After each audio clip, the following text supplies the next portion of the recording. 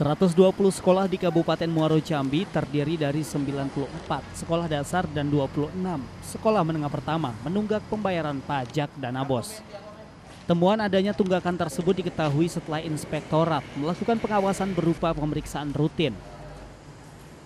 Atas temuan itu, setelah menerima LHP, pihak sekolah diberikan waktu selama 60 hari kerja untuk segera membayar tunggakan. Kepala Inspektorat Kabupaten Muaro Jambi Budi Hartono mengatakan, pihak sekolah yang menunggak pajak beralasan sekolah belum memahami secara rinci tentang pajak dana bos.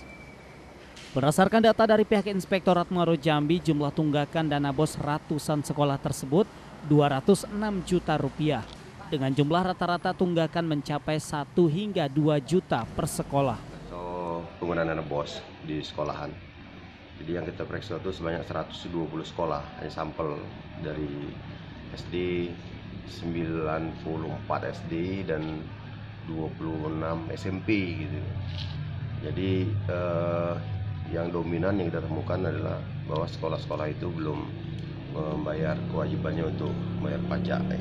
Jadi untuk beri sanksi atau gimana Pak kalau yang belum sampai sekarang nih Pak? Ya kalau yang belum bayar, kalau dari teman kita itu nanti setelah dia mendapatkan LHP kita kasih kesempatan untuk segera membayarnya selama 60 hari kerja. 60 hari kerja Pak? Ya, 60 hari kerja.